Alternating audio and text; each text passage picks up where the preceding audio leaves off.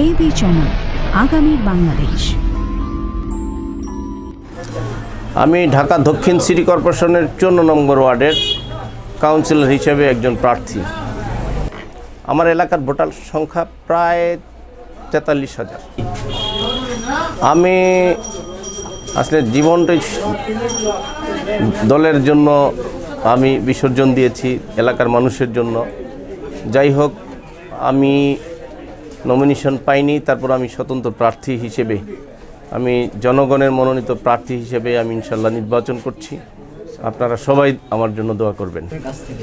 আমার জনগণের কাছ থেকে আমি এটুকু প্রত্যাশা করি, যেহেতু সামনে নির্বাচন, তিরিশ তারিখ নির্বাচন, এই নির্বাচনে জনগণ সৎ, যোগ্য হিসেবে একজনকে মনোনীত করবে, এটাই আমার চাওয়া থাকবে।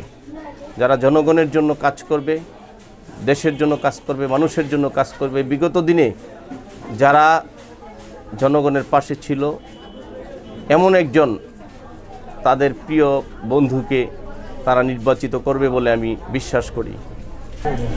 এই এলাকাটা এক সময় ক্রাইম জোন, কিলিং জোন ছিল। যদিও আমরা নির্বাচিত কিছু হই নেই, তারপরও যেহেতু সাবেক ছাত্রনেতা ছিলাম, তারপরে দীর্ঘ সময় আওয়ামী লীগের রাজনীতি করেছি, এখনও করছি। সেই দৃষ্টিকোণ থেকে আমি ইনশাল্লাহ যদি নির্বাচিত হই, যেহেতু জননীতি শেখ হাসিনা মাদক এবং সন্ত্রাসের বিরুদ্ধে ডাইরেক্ট জিহাদ ঘোষণা করেছে। Zero tolerance. তো আমি ইনশাল্লাহ সেই ধারাবাহিকতায় আমি সবসময়ই এর বিরুদ্ধেই অবস্থান নিয়েছি, বিরুদ্ধেই জনমত সৃষ্টি করার চেষ্টা করছি। মাদকের ভয়াল গ্রাস যাতে আমাদের সমাজ থেকে এই এলাকাটা একটা সময় কিলিং জোন, ক্রাইম জোন এলাকায় অনেক সময় এলাকাকে হিরোইন পট্টি ছিল এলাকায়। জুরাইন এটা একটা আমাদের একটা দুর্নাম ছিল। তো সেই অভিশাপ থেকে আমরা ইনশাল্লাহ অনেকাংশ মুক্ত হয়েছি। বাকিটা এলাকার মানুষের সহযোগিতায়, প্রশাসনের সহযোগিতায় ইনশাল্লাহ নির্বাচিত হলে সেটাও আমরা যেভাবে হোক এই সন্ত্রাস এবং মাদক মুক্ত একটা সুন্দর সুশৃঙ্খল আদর্শ ওয়ার্ড ইনশাল্লাহ গড়ে তুলব।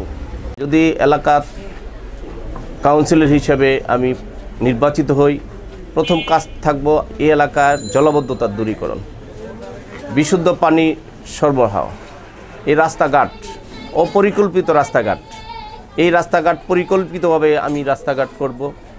এলাকায় মানুষের জন্য যাতে মানুষ বিচার পায়, সেই ব্যবস্থাটা ইনশাল্লাহ আমি করব।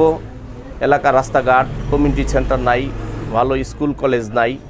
সেই দিক থেকে আমি ইনশাল্লাহ চেষ্টা করব, যতটুকু করা যায় আমি ইনশাল্লাহ করব মানুষের জন্য। আর এলাকার উন্নয়নের জন্য, এলাকাবাসীর স্বার্থে সবাই ইনশাল্লাহ আমি মনে করি আমাকেই নির্বাচিত করবেন।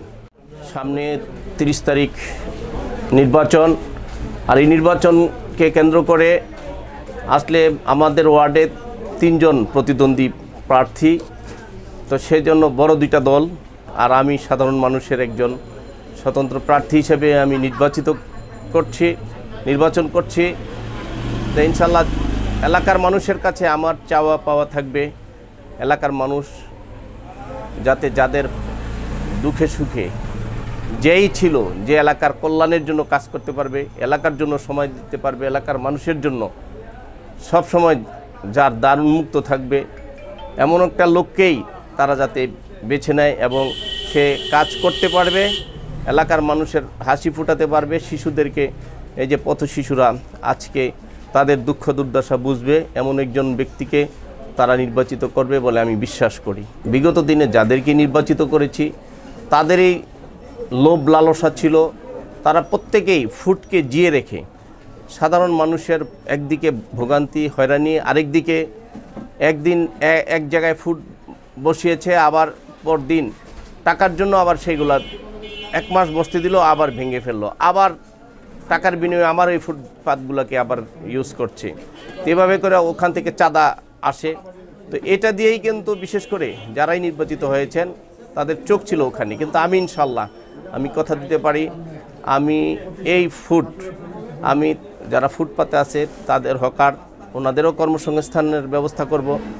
ওনারা যাতে ভালোভাবে, সুন্দরভাবে প্রতিষ্ঠিত হয়, সেই দিক দিকটাও দেখব।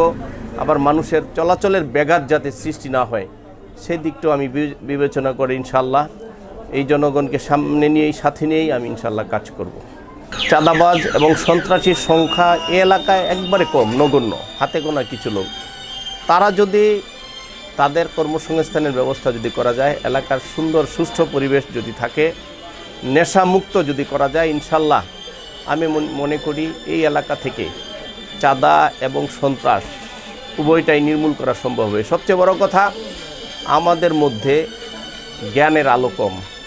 আমরা, বিশেষ করে কোরআন, আল্লাহ রব্বুল আলমিন আমাদের মাঝে নাজিল করেছে মানুষের সুন্দর পথ দেখানোর জন্য।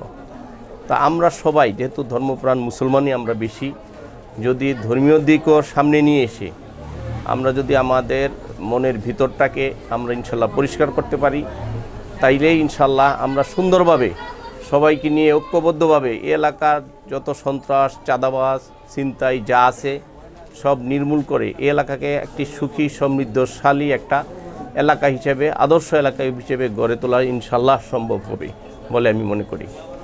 আমি যদি ইনশাল্লাহ নির্বাচিত যদি হই, প্রথমে আমার কর্মসূচি থাকবে একশো দিনের একটা কর্মসূচি আমি গ্রহণ করব।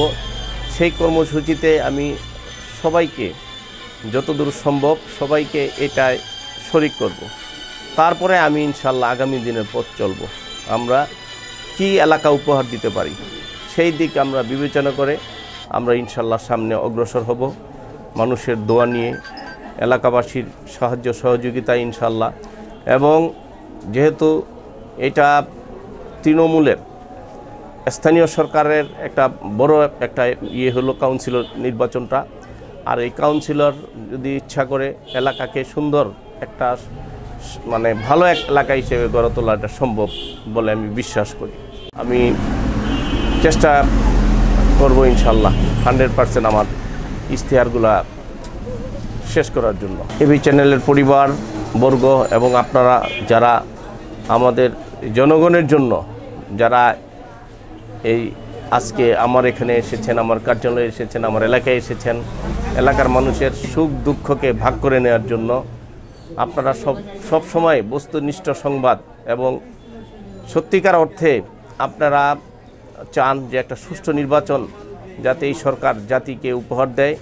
তা আমার কামনা এবং বাসনা থাকবে আপনারা যাতে সুন্দর ইলেকশন হয়, আবার ইলেকশনের পরবর্তী প্রত্যেকটা সেক্টর যাতে সুন্দরভাবে পরিচালিত হয়, দুর্নীতিমুক্ত হয়। সেই দিকে এই চ্যানেল বিশেষ গুরুত্বপূর্ণ ভূমিকা পালন করবে বলে আমি বিশ্বাস করি। এজন্য আমি আমার ব্যক্তিগত পক্ষ থেকে, এলাকাবাসীর পক্ষ থেকে, চুয়ান্ন নং ওয়ার্ডবাসীর পক্ষ থেকে আপনাদেরকে, আপনাদের এই চ্যানেল এবং আপনারা যারা আছেন, অনেক পরিশ্রম করছেন এবং অনেক সাহসিকতার সাথে সব কিছু মোকাবেলা করে বাংলাদেশকে জননেত্রী শেখ হাসিনার নেতৃত্বে বাংলাদেশ এগিয়ে চলছে। আপনারাও ডিজিটাল বাংলাদেশ হিসেবে যাতে এই খ্যাতিটা বিশ্বে ছড়িয়ে বাংলাদেশ যাতে বিশ্বের দরবারে মাথা উঁচু করে দাঁড়ায়, সেই দিকটা কিন্তু সাংবাদিকেরাই এই মিডিয়া ইলেকট্রনিক্স মিডিয়াই বিশেষ করে কাজ করবে বলে আমি বিশ্বাস করি। এজন্য আমি আপনাদেরকে ধন্যবাদ জানাই।